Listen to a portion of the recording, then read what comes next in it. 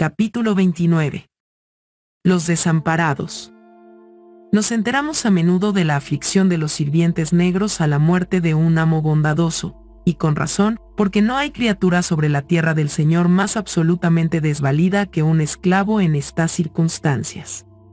Un niño que pierde a su padre aún puede contar con la protección de los amigos y de la ley. Es alguien y puede hacer algo. Tiene derechos reconocidos y una posición. El esclavo no tiene nada. La ley lo considera en todos los aspectos tan privado de derechos como un paquete de mercancía. El único reconocimiento posible de los anhelos y necesidades de un ser humano e inmortal que se le concede es a través de la voluntad soberana e irresponsable de su amo, y cuando desaparece ese amo, no le queda nada. Pocos son los hombres que sepan utilizar humanitaria y generosamente un poder totalmente irresponsable. Todo el mundo sabe esto, y el esclavo mejor que nadie, por lo que éste sabe que tiene 10 posibilidades de que le toque un amo abusivo y tirano y una de que le toque uno considerado y bueno. Por eso el duelo por la pérdida de un amo bondadoso es, con razón, largo e intenso. Cuando ese teclare expiró, todos los de su casa fueron presa del terror y la consternación. Cayó en un instante, en la flor y el vigor de la juventud. Cada habitación y cada pasillo de la casa resonaron con sollozos y gemidos de desesperación. Mary, cuyo sistema nervioso se había debilitado por culpa de años de constante autoindulgencia, no tenía fuerzas para soportar el terror del golpe, y en el momento en que su marido exhalaba el último suspiro, ella pasó de un desmayo a otro, y el que había estado unido a ella por los misteriosos lazos del matrimonio desapareció de su vida para siempre, sin la posibilidad siquiera de una palabra de despedida. La señorita Ophelia, con una fuerza y un autocontrol característicos, había permanecido junto a su pariente hasta el final, toda ojos, toda oídos, toda atención. Hizo lo poco que se podía hacer y se unió con toda su alma a las oraciones tiernas y apasionadas que pronunciaba. El pobre esclavo por la salvación espiritual de su amo moribundo. Cuando lo preparaban para el descanso eterno, descubrieron sobre su pecho un sencillo relicario, que se abría mediante un resorte. Contenía la miniatura de un noble y hermoso rostro femenino, y en la parte de atrás, guardado bajo un cristal, un mechón de pelo moreno. Volvieron a colocarlo sobre su pecho sin vida, polvo al polvo. Un pobre recuerdo melancólico de sueños juveniles, que una vez hicieran latir tan deprisa aquel frío corazón. El alma de Tom estaba repleta de la idea de la eternidad, mientras atendía el cuerpo inanimado, ni una vez pensó que el golpe repentino lo había dejado esclavo sin esperanzas. Se sentía en paz. Respecto a su amo, pues en aquella hora en la que elevaba sus oraciones al seno de su Padre, sintió nacer dentro de él una respuesta de sosiego y promesa. En las profundidades de su propia naturaleza afectuosa, sintió la capacidad de percibir algo de la plenitud del amor divino, porque un antiguo profeta escribió, el que reside en el amor reside en Dios y Dios en él. Tom tenía esperanza y confiaba, y estaba en paz pero pasó el funeral, con todo su boato y su crespón negro, y sus oraciones y sus caras solemnes. Y volvieron las oleadas frías y sórdidas de la vida cotidiana y surgió la eterna pregunta dolorosa. ¿Qué se ha de hacer ahora?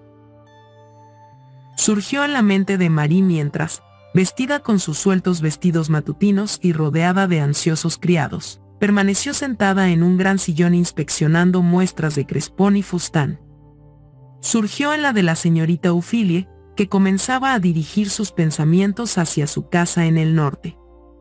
Surgió, con terrores silenciosos, en las mentes de los sirvientes, que conocían bien el carácter insensible y tiránico del ama, en cuyas manos habían quedado. Todos sabían muy bien que las indulgencias que habían recibido no procedían del ama sino del amo y que, ahora que él se había ido, no habría ningún escudo entre ellos y cada tiránico castigo que podía idear un temperamento agriado por el sufrimiento. Unos 15 días después del funeral, mientras estaba ocupada en su cuarto, la señorita Ophelia oyó una débil llamada a su puerta. La abrió y allí estaba Rosa, la guapa cuarterona de la que a menudo hemos hablado, con el cabello desordenado y los ojos hinchados de llorar. Ay, señorita Ophelia dijo, hincándose de rodillas y cogiendo la falda del vestido de esta por favor, vaya a hablar con la señorita Marie para interceder por mí. Me va a enviar a que me azoten, Mer, y le entregó un papel a la señorita Ophelia. Era una orden, escrita con la delicada letra itálica de Marie, dirigida al jefe de una casa de castigo para que le infligiera a la portadora 15 latigazos. ¿Qué has hecho? Preguntó la señorita Ophelia. Usted sabe, señorita Ophelia, que tengo muy mal genio, no debería ser así. Me estaba probando el vestido de la señorita Marie y me dio un bofetón en la cara, y antes de pensar, le contesté con insolencia, y dijo que me pondría en mi sitio y que me enteraría, de una vez por todas, que ya no iba a ser un personaje tan importante como hasta ahora, y escribió esto y dice que debo llevarlo allí. Preferiría que me matase directamente. La señorita Ufilia se quedó pensando con el papel en la mano. Verá usted, señorita Ufilia, no me importaría tanto que me azotaran si lo hiciera usted o la señorita Marie, pero ser enviada a un hombre y a un hombre tan desagradable. ¡Qué vergüenza, señorita Ophelia! La señorita Ophelia sabía que era la costumbre universal enviar a las mujeres y a las muchachas jóvenes a casas de castigo, a manos de los hombres más despreciables lo suficientemente viles como para dedicarse a esta profesión, para que las desnudaran y pegaran de forma vergonzosa. Antes lo sabía, pero hasta ahora, que veía la pequeña figura de Rosa crispada por la angustia, no se había dado cuenta de lo que significaba. Toda la honrada sangre de la feminidad, la fuerte sangre libre de Nueva Inglaterra, se le subió a las mejillas y latía con amargura e indignación dentro de su corazón pero con su autocontrol y su prudencia habituales, se dominó, arrugando en papel con la mano, simplemente dijo a Rosa, siéntate, muchacha, mientras hablo con tu ama. Vergonzoso, monstruoso, un ultraje, se decía a sí misma al cruzar el salón. Encontró a Marie sentada en su poltrona con Mami de pie a su lado, peinándola. Jane estaba sentada en el suelo delante de ella, frotándole enérgicamente los pies. ¿Cómo te encuentras hoy? Preguntó la señorita Ophelia. Como única respuesta, Marie primero dio un profundo suspiro y cerró los ojos un momento. Después contestó, no lo sé, prima, supongo que estoy todo lo bien que vaya a estar nunca. Y Marie pasó por los ojos un pañuelo de batista con una gran extensión de bordado negro en la orilla. He venido, dijo la señorita Ophelia, con una de las toses breves y secas con las que se suele introducir un tema difícil. He venido para hablarte de la pobre Rosa. María abrió mucho los ojos y sus pálidas mejillas se tiñeron de rojo cuando contestó rudamente. ¿Qué le pasa? Siente mucho lo que ha hecho. Con que lo siente, ¿eh? Más lo va a sentir, antes de que yo acabe con ella. He aguantado. La impertinencia de esa muchacha bastante tiempo, y ahora le voy a bajar los humos. La haré arrastrarse por el suelo. Pero, ¿no podrías castigarla de otra manera, de una manera menos vergonzosa? Quiero avergonzarla, eso es exactamente lo que pretendo. Toda la vida ha presumido de su delicadeza y su belleza y sus aires de gran señora, hasta olvidarse de quién es. Yo le daré una lección que la pondrá en su sitio, ya lo creo. Pero, prima, piensa que si destruyes la delicadeza y el sentido de la vergüenza de una muchacha joven, se echará a perder muy deprisa. Delicadeza. Dijo Marie, con una risa de desprecio. Bonita palabra para una como ella. Yo le enseñaré que, con todos sus aires, no es mejor que la moza negra más andrajosa que hace la calle. No se dará más aires conmigo. Responderás ante el Señor por semejante crueldad. dijo la señorita Ufilie con energía. Crueldad. Me gustaría saber dónde está la crueldad. Solo he dado orden de que le den 15 latigazos, y le he dicho que se los dé con ligereza. No veo la crueldad de eso. Que no hay crueldad. Dijo la señorita Ufilie. Estoy segura de que cualquier muchacha preferiría que la mataran directamente.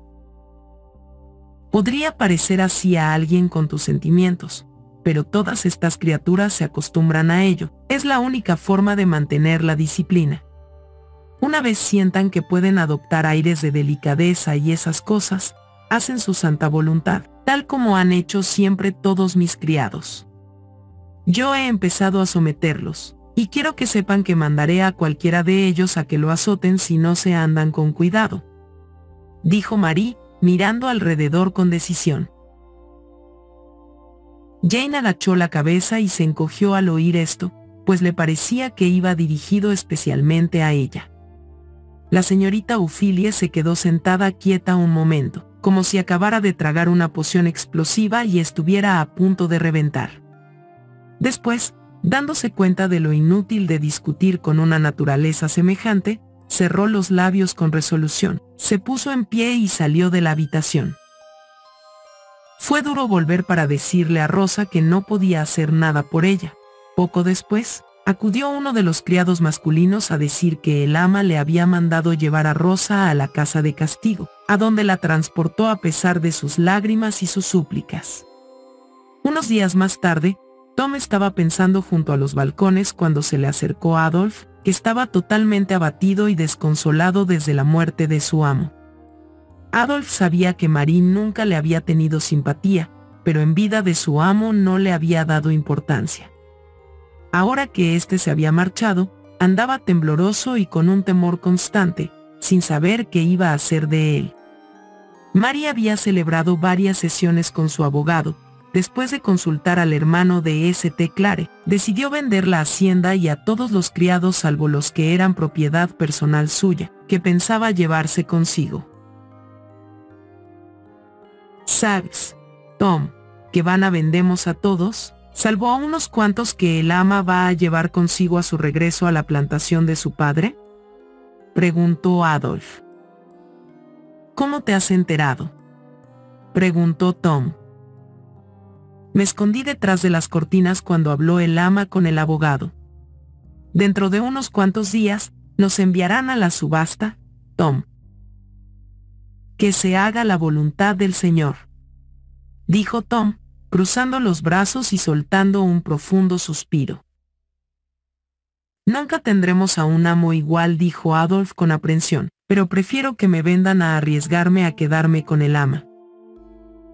Tom se volvió, emocionado. La esperanza de la libertad y la imagen de su esposa y sus hijos tan lejanos aparecieron ante su alma paciente, como al marinero que naufraga a punto de arribar al puerto se le presenta la visión de la torre de la iglesia y, los acogedores tejados de su pueblo vislumbraba, por encima de una negra ola para que se despida de ellos por última vez. Juntó fuertemente los brazos sobre el pecho, reprimió las amargas lágrimas e intentó rezar. El pobre hombre había tenido tantísimas ganas de conseguir la libertad que era un duro golpe para él, y, cuanto más repetía, que se haga su voluntad, peor se sentía. Fue en busca de la señorita Ufilie que, desde la muerte de Eva, lo trataba con una gran amabilidad respetuosa. Señorita Ufilie dijo, el señor St. Clare me prometió la libertad. Me dijo que había empezado a preparar mi manumisión, y quizás, si la señorita tuviera la bondad de hablar de ello con el ama, ella estaría dispuesta a seguir adelante con ello, ya que era el deseo del señorito St. Clare. Hablaré en tu favor, Tom, y haré lo que pueda, dijo la señorita Ufilie, pero si depende de la señora S. Clare, no tengo muchas esperanzas de conseguirlo. Sin embargo, lo intentaré. Este incidente ocurrió unos días después del de Rosa, mientras la señorita Ufilia estaba ocupada con los preparativos para su regreso al norte. Al reflexionar seriamente sobre ello, Pensó que quizás hubiera utilizado un lenguaje algo brusco y acalorado en su anterior entrevista con Marie, por lo que resolvió intentar moderar su celo y ser lo más conciliadora posible. Por lo tanto, la buena mujer hizo acopio de fuerzas, y cogiendo su calceta, decidió encaminarse a la habitación de Marie y ser todo lo agradable que pudiera para negociar el asunto de Tom, con toda la habilidad diplomática de que disponía. Encontró a Marie tumbada cuán larga era en un canapé, apoyada sobre un codo con la ayuda de almohadas, mientras Jane le mostraba algunas muestras de finas telas negras que había ido a comprar. Esta sirve, dijo Marie, eligiendo una, pero no estoy muy segura de que sea de luto propiamente dicho. Caramba, señorita, dijo Jane muy parlanchina. La viuda del general Derbenon llevaba esta misma tela cuando se murió el general el verano pasado y queda estupenda. ¿Qué opinas tú? Preguntó María a la señorita Ufilie. Supongo que es cuestión de costumbres, dijo la señorita Ufilie.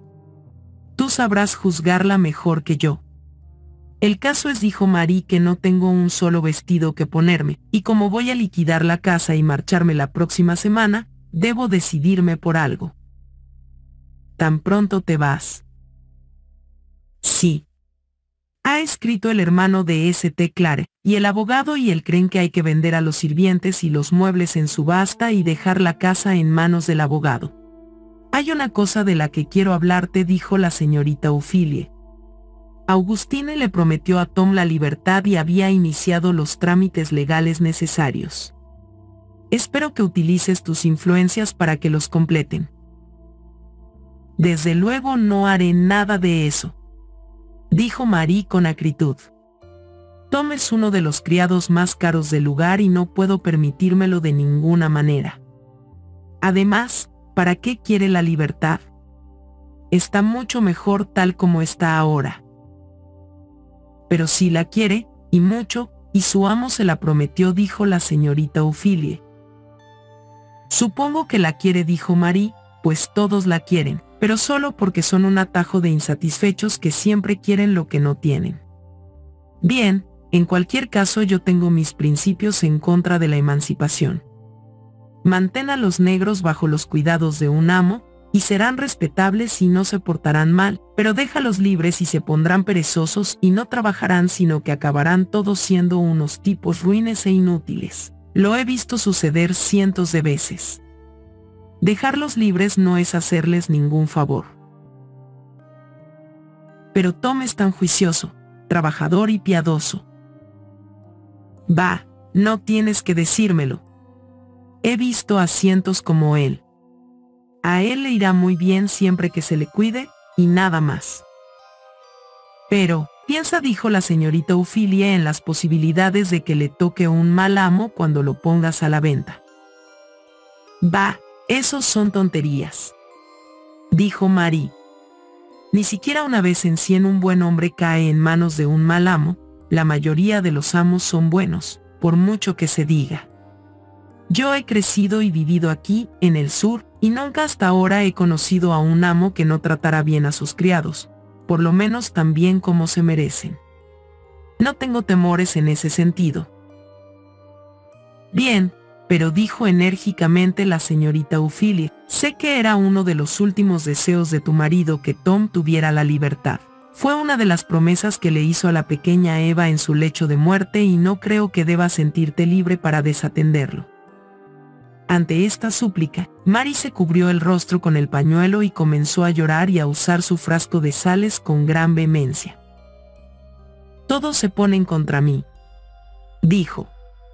Todo el mundo es tan poco considerado.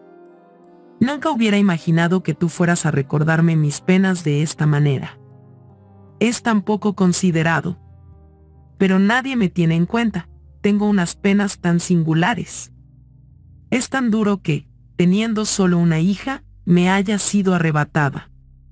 Y que haya perdido a mi marido, que se acomodaba tan bien a mí, con lo difícil que es que a mí me vaya bien alguien.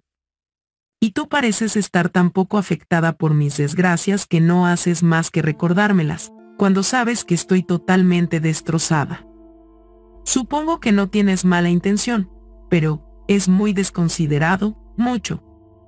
Y sollozó y luchaba por poder respirar y llamó a mami para que le abriera la ventana, le acercara la botella de alcanfor, le bañara las sienes y le soltara los corchetes. Y, durante la confusión general que se creó, la señorita Ophelia se escapó a su habitación. Se dio cuenta enseguida de que no serviría de nada decir más, porque Marie tenía una capacidad inagotable para los ataques de histeria. Y a partir de este momento, cada vez que se aludiera a los deseos de su marido respecto de los criados, sería oportuno que padeciera uno. Por lo tanto, la señorita Ophelia hizo lo mejor que aún podía hacer por Tom. Escribir una carta en su nombre a la señora Shelby, contándole sus problemas y urgiéndole a mandar una solución. Al día siguiente, Tom y Adolf y media docena más de los criados fueron llevados a un almacén de esclavos en espera de que el tratante tuviera un número suficiente para organizar una subasta.